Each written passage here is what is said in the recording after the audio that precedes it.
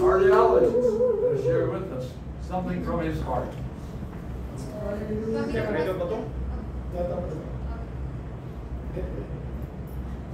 Well, good evening, uh, everybody.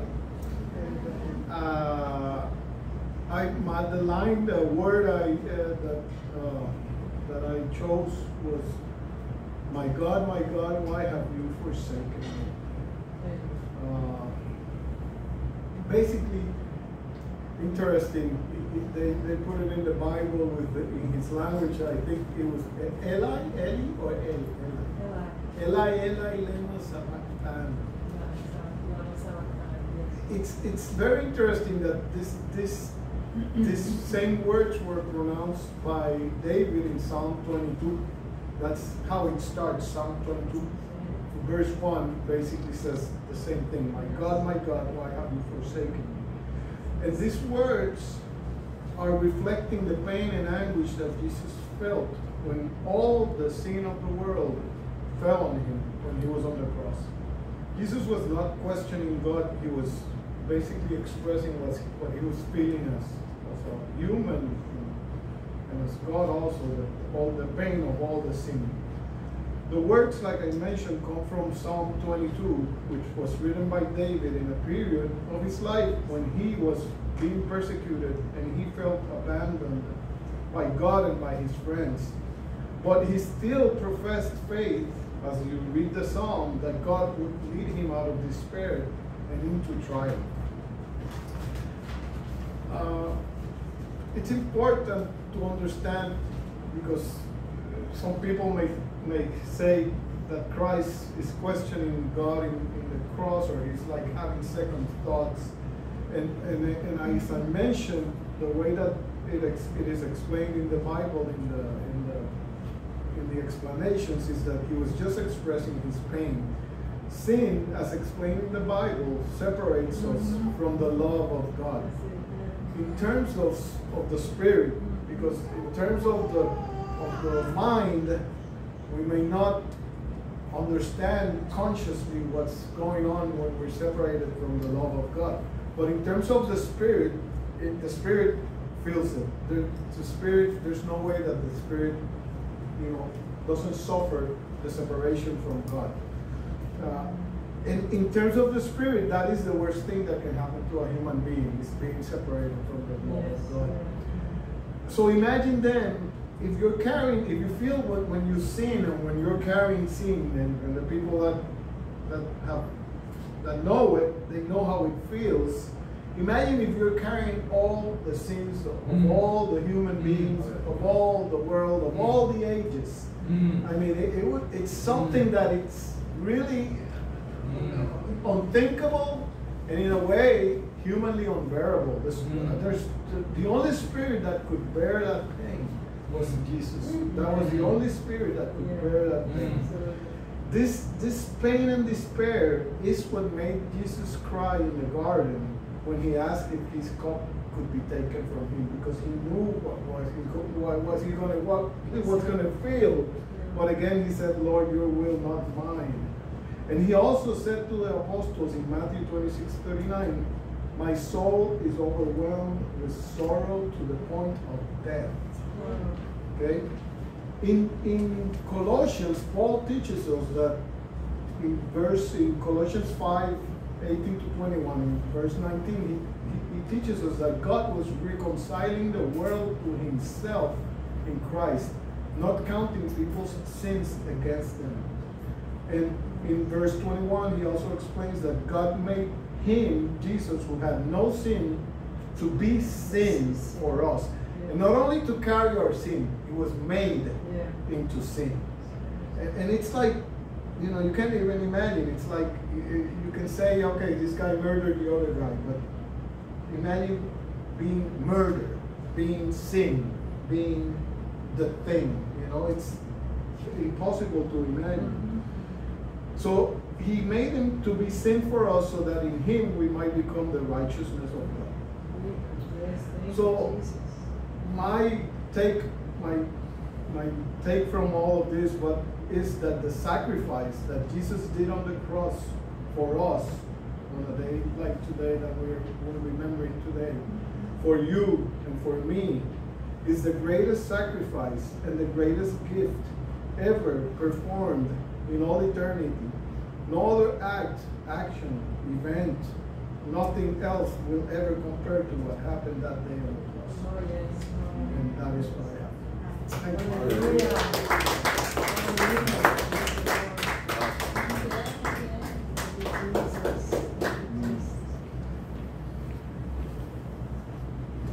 He was forsaken that we might be accepted. Thank God for that. Well, our next word, Brother Carlos. And uh, él necesita un tra- Bueno, creo que puede expresar sus, sus uh, pensamientos bien en inglés, pero creo que esta vez va a hacerlo en, en, uh, en Español. inglés. Ah, no, en español. Y yo puedo ser uh, tra- eh, traductor, pero creo que hay otros traductores aquí que pueden hacerlo mejor que yo. Who would like to be? Who, who do you want to be? Not Carl. No, Anybody but Carl, who do you want? Cynthia, Cynthia. Yes, You can do it, Cynthia, Cynthia? Cynthia. Okay, I can do it. Okay, very good. Yes, Cynthia. Cynthia, but you also have to do the sign language. Oh, no. I'm just kidding. I like you. Así se llama.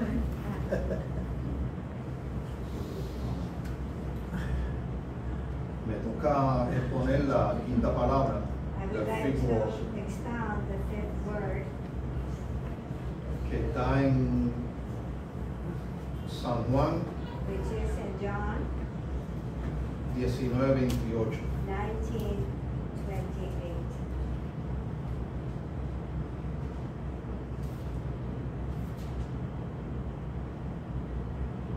Después de esto, After this, sabiendo Jesús que ya todo estaba consumado, Jesus knowing that everything had already been consumed and finished, dijo para que la escritura se cumpliera, he said, so that scripture could be fulfilled, tengo sed.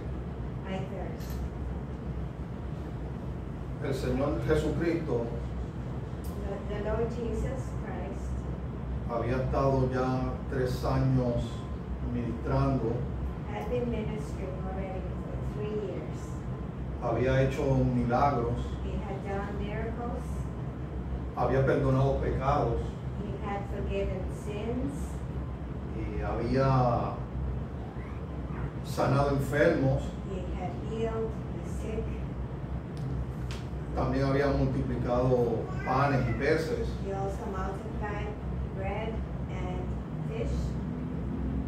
también había ya ahora en la cruz, Also, on the cross, ya se había hecho todo lo que, se había dicho ya todo lo que se tenía que decir, he has said everything that needed to be said, todo lo que tenía que hacer. everything that needed to be done. En, en ese momento, moment, ahí en la cruz, cross, el Señor Jesucristo hace una confesión the Lord Jesus makes a o tal vez una petición. or maybe a petition. Él dice, tengo sed. He says, I thirst. Es una, esa confesión nos, eh, entiendo que es una confesión humana. This confession, I understand, is a human confession. Él estaba, pues, estaba con nosotros siendo eh, hombre He was with us con su divinidad, obviamente. Pues di- dijo, tengo sed. He said, I thirst.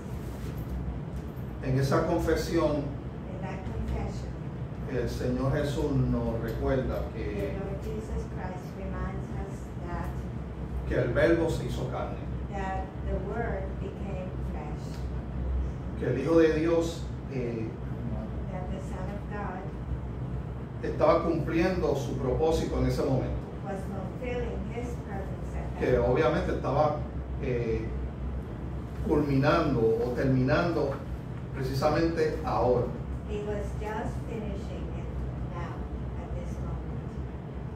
Eh, el verbo se hizo carne. Y habitó entre nosotros. Dice Juan 14, 1.14.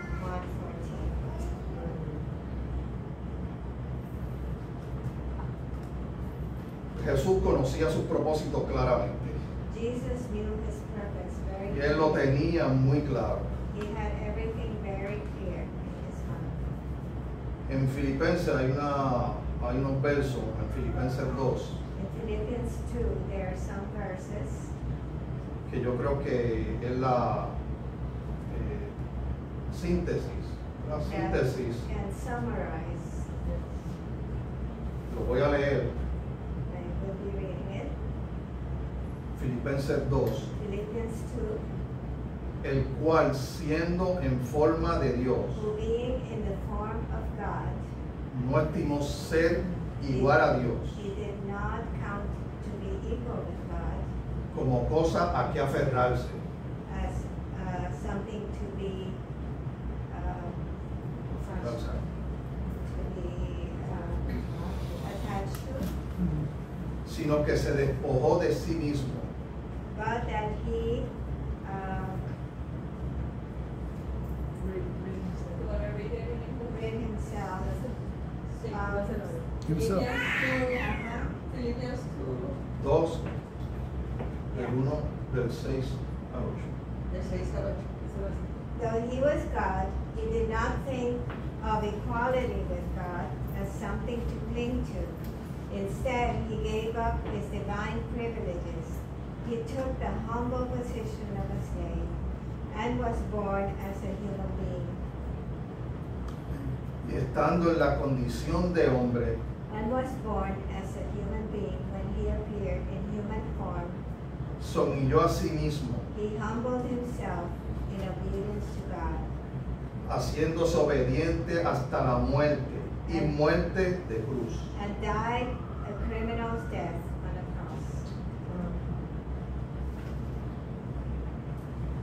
Estos versos nos demuestran, These verses demonstrate ya que Jesús había otorgado perdón, ya había clamado al Padre en ese momento, Jesus had uh, given forgiveness and called on his Father, también había sentido, tenía el sentimiento, llegó a tener el sentimiento de, de abandono, de soledad. he also felt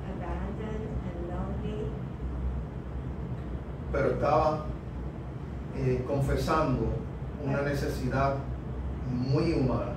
he was confessing a very human need. Tengo sed. I thirst. Eh, voy a ser bien breve ya. Pero-. Eh,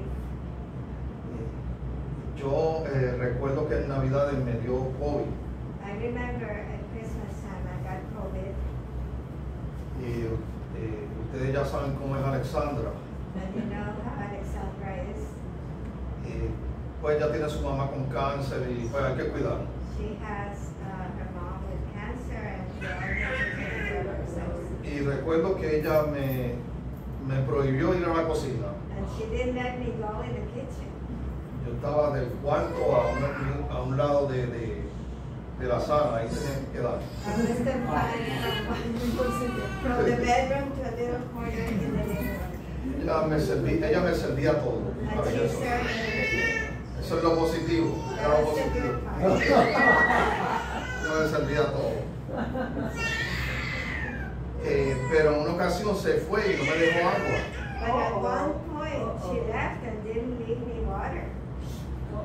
Y yo siendo obediente no, no iba a la cocina. kitchen. Y recuerdo la sed intensa que, que yo sentía. Necesito tomar agua.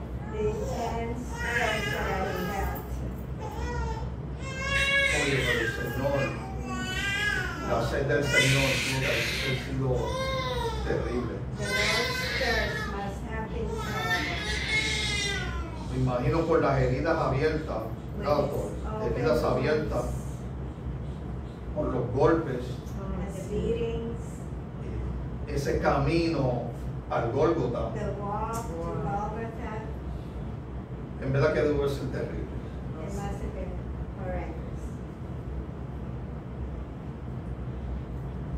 Esa sed del Señor nos recuerda o le, o le hace saber al mundo reminds the world que Él vino y fue como uno de nosotros. that He came and He was like one of us. Sintió fatiga, He dolor, felt tiredness, felt pain, claro, siendo guardando el 100%, siendo 100% humano y 100% Dios. He was 100%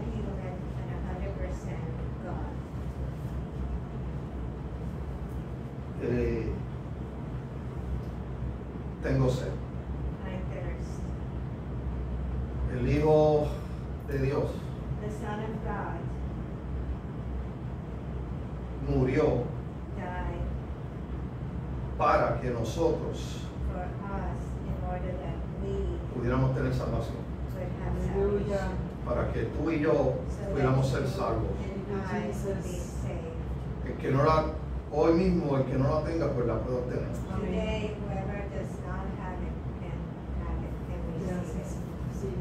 Y con esto termino. Ese mismo, ese mismo que murió en la cruz,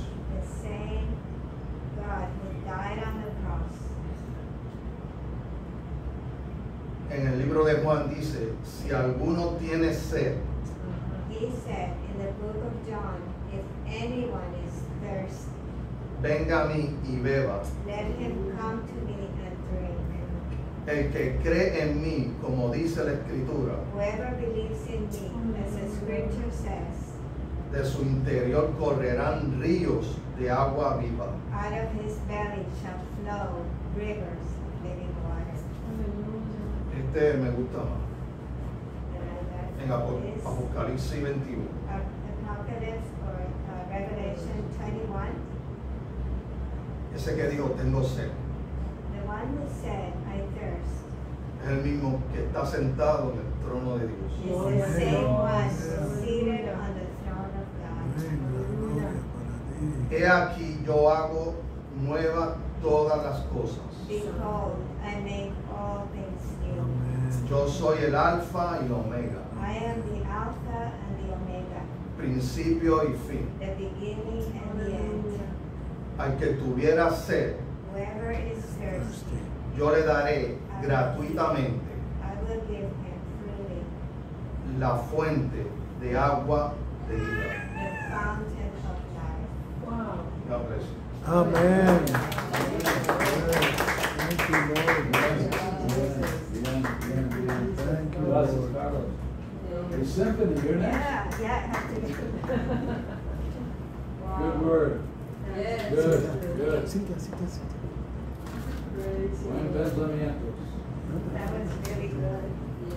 Yes, gracias. Thank.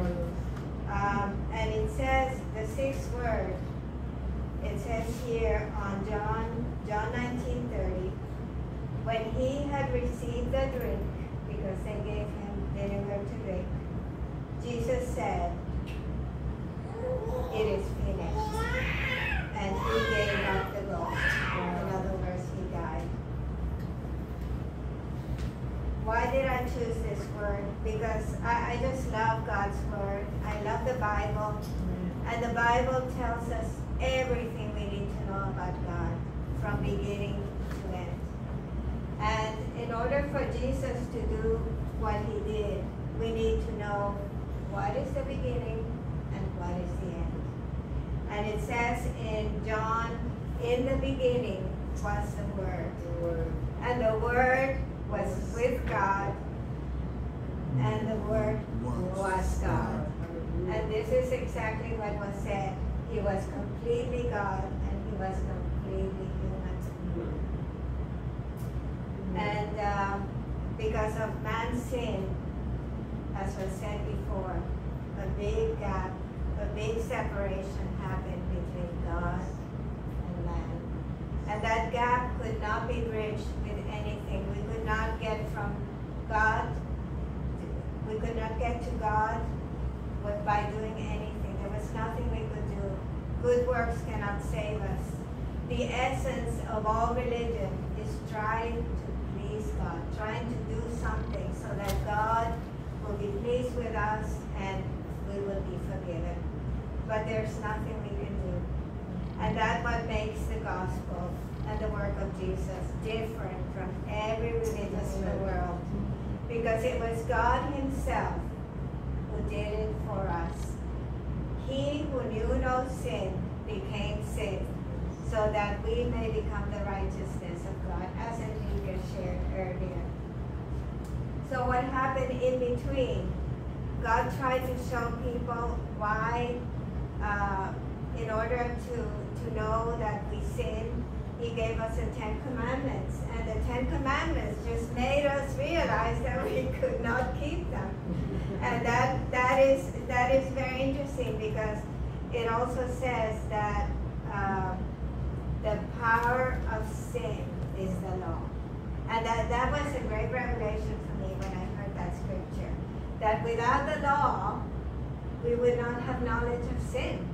So God placed us the law so that it would be like a mirror and we would see ourselves and recognize that we are lost. There's nothing we can do. And that if we just miss one commandment, we, we have missed all of them. So why did Jesus have to come? Because he was God himself. And only a holy God, holy blood of Jesus was the only thing that could wash away sin. And it says also in the Bible, without the shedding of blood, there is no forgiveness of, sin. That's why in the Old Testament we had uh, they had to bring sacrifices to to God to cover up the sin temporarily. It was only like a little painting over with the blood of the animals until that perfect sacrifice could come, and that was the sacrifice of Jesus. So another thing that Jesus did in, in, in that work that is finished, not only did he forgive our sins, not only did he give us life, eternal life, he gave us healing, and he gave us peace. And there's everything that is good was involved in that sacrifice. And he also redeemed us from the curse. There is a curse of the law. So all humanity was cursed. And when Jesus did what he did, that curse was lifted. So there's so many, so many mysteries in, in, in that sacrifice. Even when I became a Christian, when I first presented myself to the Lord and I repented, I still didn't understand why did Jesus have to die on the cross? Believe it or not, to me, uh, it was a process to understand. Yeah, he needed to die on the cross because of my sin, and your sin, and the whole sin of the whole world.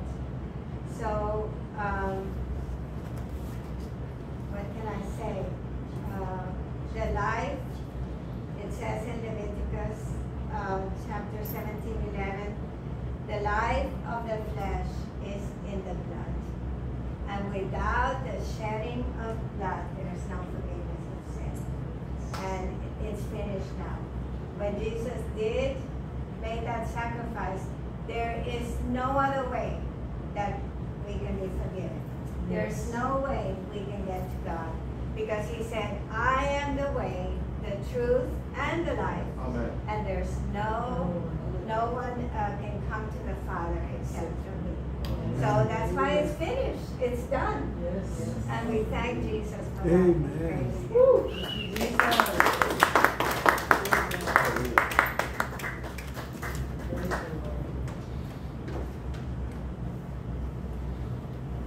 Why didn't somebody just lift up prayer, lift up a prayer thanking God, Jesus for what he did and that it is finished?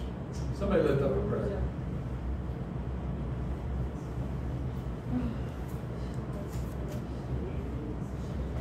Lord, we give you thanks for your sacrifice uh, in the cross for us, Lord. If it weren't for your sacrifice, we wouldn't even be alive today. Yes. We we sometimes we don't realize the importance of what happened in that day, and and we want to let you know, Lord, that we are grateful for the for the present that you gave us for salvation, for the opportunity of, of eternal life with you. In Jesus' name we thank you, Lord. Amen. Amen. Amen. Well, we are now at the, the last word, the last words that Jesus said on the cross. What I found interesting is that the first word, which was Father, forgive them, he was addressing the Father. And the last word that he gives, he is addressing the Father.